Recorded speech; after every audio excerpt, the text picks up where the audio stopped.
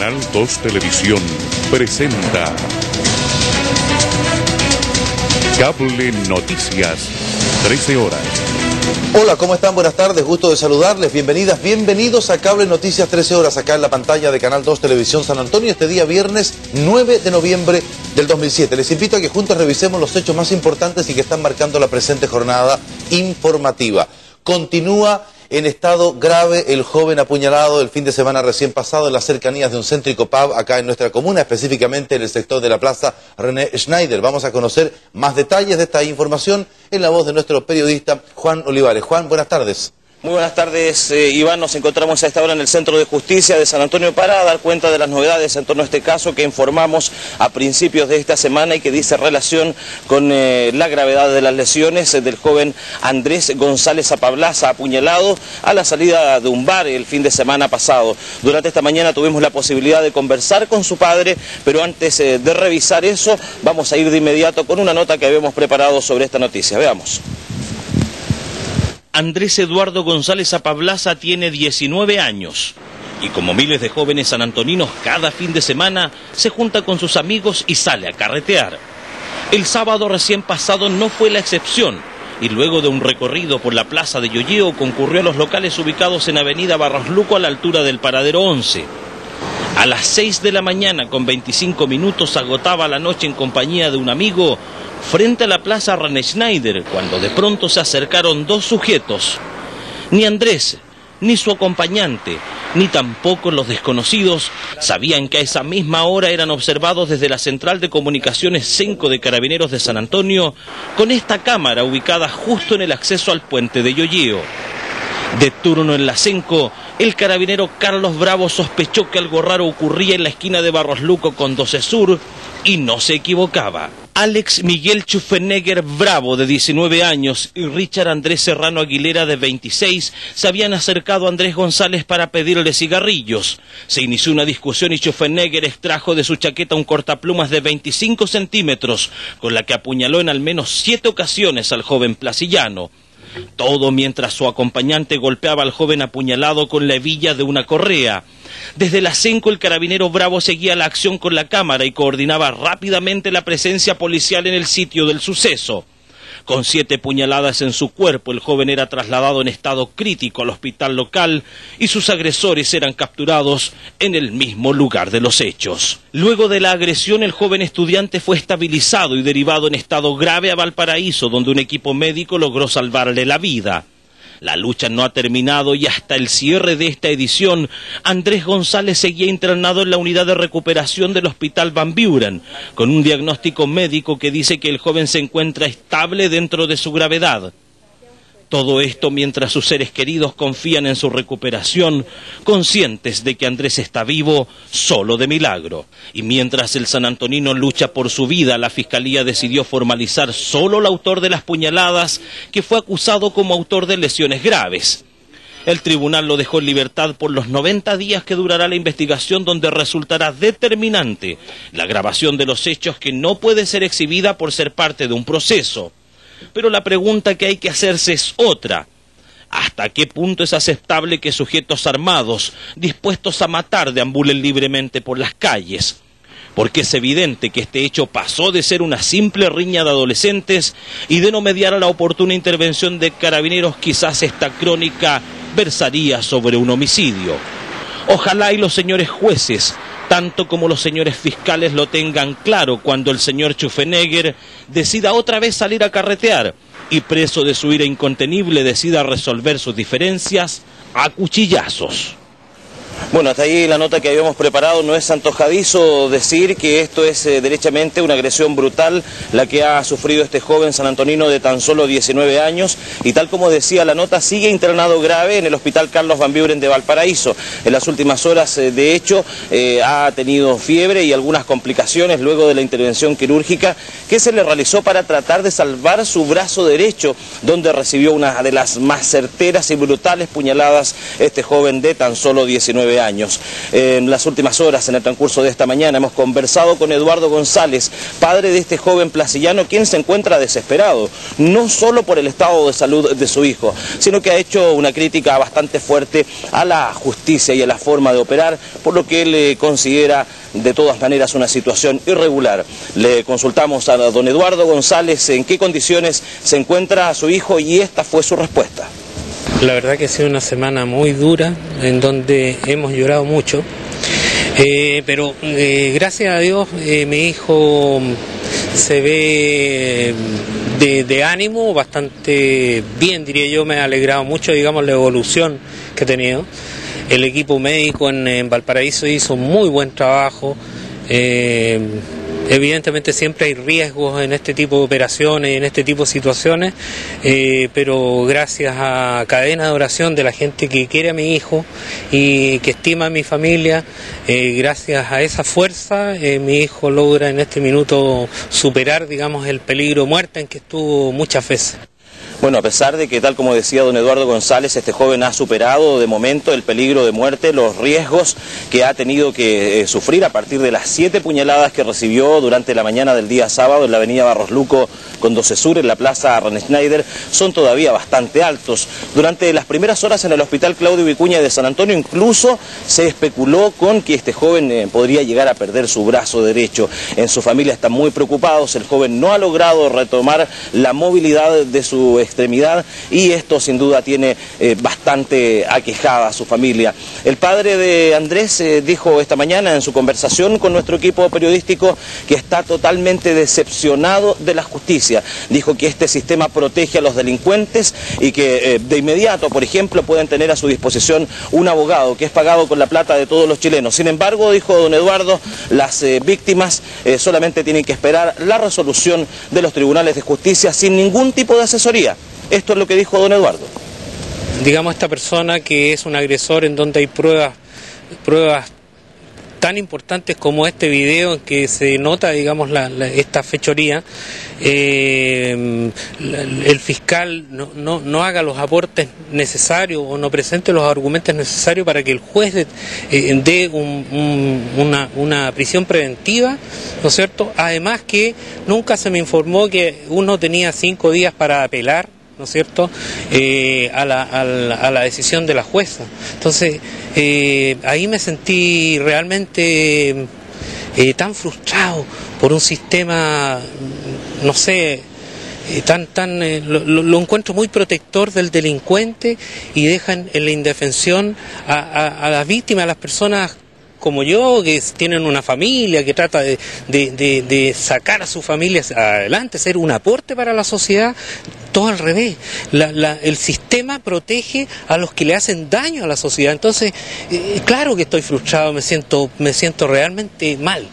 Ese es el mundo que le estoy entregando a mis hijos. Mejor no lo hubiese tenido nunca, mejor porque es algo terrible. No les puedo dejar eso.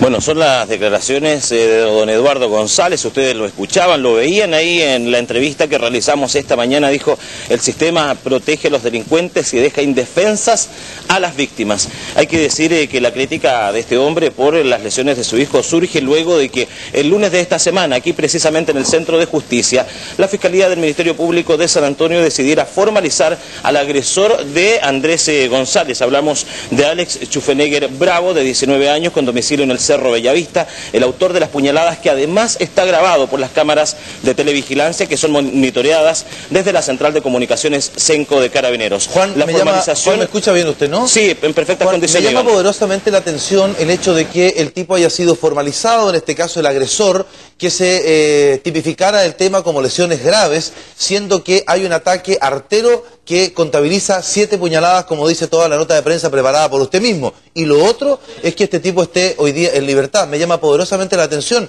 Y lo último, porque se está hablando hoy día en todos los medios, inclusive nacionales, de cómo eh, contrarrestar un poco esto que es una, una, una, lacra que nos persigue todos los días, que es la delincuencia. Pero, más allá de aquello, ¿qué está haciendo la familia? ¿Han presentado algún recurso para que el, el agresor vuelva a la cárcel? Bueno, eh, en cierta medida lo decía don Eduardo González en eh, parte de la entrevista que acabamos de mostrar. Él eh, no se enteró, por ejemplo, que tenía cinco días para apelar de la resolución del tribunal que el día lunes de esta semana decidió dejar en libertad provisoria, quiero decir, al agresor de este joven. Él fue formalizado por lesiones graves. La molestia de las familias es que ellos consideran que esto derechamente es un homicidio frustrado. Y lo segundo, que dada la irreprochable conducta anterior del agresor, él ha quedado solo con la firma cautelar, es decir, tiene que periódicamente firmar en el plazo que dura la investigación que lleva adelante la Fiscalía del Ministerio Público. Lo que se investiga son las lesiones graves de este joven y no un homicidio frustrado como solicita la familia. El plazo para esa investigación fue determinado por este tribunal en 90 días. Ahora bien, eh, el padre del joven que se encuentra recuperándose en Valparaíso ha dicho esta mañana que ellos ya tomaron contacto con la Fiscalía Regional a través eh, de una asesora del fiscal regional Jorge Abbott, ella es Sandra Obando, y que en la Fiscalía Regional se habrían comprometido a revisar la carpeta de investigación que se abrió con motivo de estos hechos. Esas son eh, solo parte de algunas de las gestiones que se han desarrollado durante esta semana y además es muy probable que en el transcurso de las próximas horas la familia de Andrés González se asesore con un abogado particular que estaría interponiendo una querella por el delito de homicidio frustrado aquí en los tribunales pertinentes. Iván. Detalles acerca de la nueva modalidad en cuanto a la ficha de protección social que reemplazó a la ficha CAS, entregó el Ceremi de Planificación Miguel Toledo, quien encabezó ayer el gabinete regional que tuvo lugar en la gobernación provincial de San Antonio. Una vez que uno se hace acreedor del beneficio, ser reconocido como Chile Solidario, de ahí esto queda eh, en adelante, o sea, no te están evaluando todos los meses, si tú sigues manteniendo, no, eres beneficiario de Chile Solidario y por lo tanto, de ahí en adelante eres reconocido como beneficiario de Chile Solidario. Por lo tanto, por ejemplo, la gente que está en Chile Solidario, los hijos que son menores de 18 años, tienen derecho a la pensión al subsidio familiar, único familiar, el SUF. Ese subsidio único familiar, el hijo hasta los 18 años lo va a mantener, sea que esa situación de esa persona en el futuro vaya cambiando, se va modificando, porque él quedó registrado como Chile Solidario y tiene acceso, por lo tanto, a toda la ventana de servicios. Se adjudicó y se lo ganó, ya no hay ninguna condicionante que le, le quite claro. ese beneficio. Claro, es como, a ver, quizás no el mejor ejemplo, hagamos una caricatura. Si yo voy a pedir un préstamo a un banco, el banco me pide todo mi antecedente, me da el préstamo y yo en adelante tengo que pagar, pero no me vuelve todos los meses a evaluar si es que me va a seguir manteniendo el préstamo. En este sentido, se reconoce a la gente por el Chile Solidario y por lo tanto es beneficiario permanente de todo lo eh, normativa que le da. Otra situación que también vemos y que quiero aprovechar de poder explicar es sobre el subsidio de las tarifas eléctricas. Eh, mucha gente se ha acercado a las oficinas municipales y lo, eh, a ver cómo ellos se tienen que inscribir. Quiero contar, el subsidio a las tarifas eléctricas es automático. El único requisito que la gente tiene hoy día para acceder es ser eh, un puntaje eh, del 40% más vulnerable del país. Eso significa tener el puntaje de la ficha de protección social 11.734 puntos o menos cualquier persona que tenga el certificado en su poder del puntaje que es menor es beneficiario. En la comuna de Rocas de Santo Domingo finalizó el proyecto de habitabilidad para las familias de esa comuna para permitir que las mismas accedan a mejoramientos y reparación de sus viviendas. Se trata de un proyecto que fue postulado al Ministerio de Planificación por un monto cercano a los 31 millones de pesos, del cual resultaron 60 familias beneficiadas, las que se encuentran inscritas en el programa Puente. Los trabajos realizados consistieron en la instalación de mediaguas, mejoramiento de techumbres, instalación eléctrica, forros interiores y exteriores, piso, cielo e instalación de fosas sépticas. Dado lo beneficioso del proyecto, se decidió aumentar el número de familias beneficiadas. Al llegar a las 49 familias, eh, nos dimos cuenta que el proyecto había sido bastante exitoso y logramos con los mismos recursos, digamos, aumentar el, número de familias beneficiadas y hoy día tenemos 60 familias que están recibiendo este beneficio de mejoramiento. Eh, ampliamos los plazos también, ya que el municipio hizo importantes aportes a este proyecto, todo lo que tiene que ver con especialmente movilización y traslado de materiales, que produjo una economía al proyecto y con estos recursos, digamos, se aprovechó de eh, comprar más materiales, digamos, para, para beneficiar a más familias. Las viviendas mejoradas corresponden a localidades de Campo Alegre, Santa Lucía, El Convento, Las Salinas, Bocalemo, siendo una de las principales dificultades el acceder a las viviendas. En cada una de ellas se hicieron diversos trabajos que fueron muy bien recepcionados. A ver, hemos hecho trabajo de instalación de media agua, media agua de 6 por 3 metros con cielo, que no viene originalmente dentro de la media agua, pero nosotros la agregamos por un factor de, comodidad. Además, media aguas de 3 por 3 que son piezas dormitorios que la hemos entregado con eh, forro cielo y con eh, instalación eléctrica. Además de eso, la mayor cantidad de trabajos que hemos realizado han sido de reparaciones interiores y exteriores en, en casas que hemos encontrado en mal estado y lo que estamos viendo ahora que son instalación de fosas. Con los montos aportados por Mideplan se canceló la mano de obra y la adquisición de los materiales de construcción, mientras que el municipio de Santo Domingo realizó la movilización y traslado de materiales y personal. Estamos de regreso en Cable Noticias para contarles que esta mañana en dependencias de la ilustre Municipalidad de San Antonio y a la primera autoridad comunal fue presentado un proyecto del nuevo terminal de buses para nuestra comuna. Vamos a conocer más detalles en el siguiente contacto en directo con nuestro periodista Manuel Villatoro. Manuel, buenas tardes, adelante.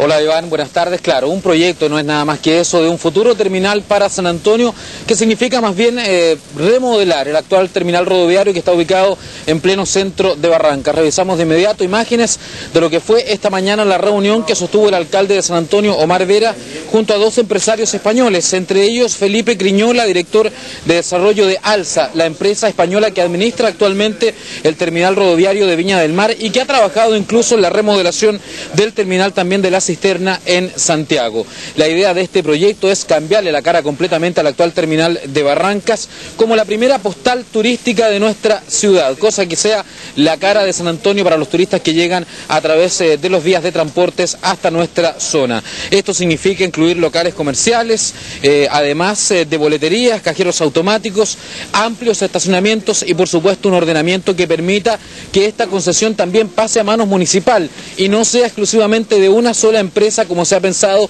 y como lo ha planteado en un principio la empresa Pullman Bus que tenía la intención de instalar un terminal en el sector norte del puente de Yoyeo. También está la opción, recordemos, del terminal rodoviario que estaría complementando el ingreso a San Antonio con el moderno proyecto que ha presentado la Secretaría de Planificación Comunal en el sector del Parque Arevalo. Bueno, pero conversamos eh, con eh, los eh, ejecutivos de esta empresa Alza, hablamos precisamente de Felipe Criñola, quien conversó y nos explicó más detalles de esta presentación que se hizo esta mañana en la alcaldía del municipio de San Antonio. Escuchemos las declaraciones del empresario español.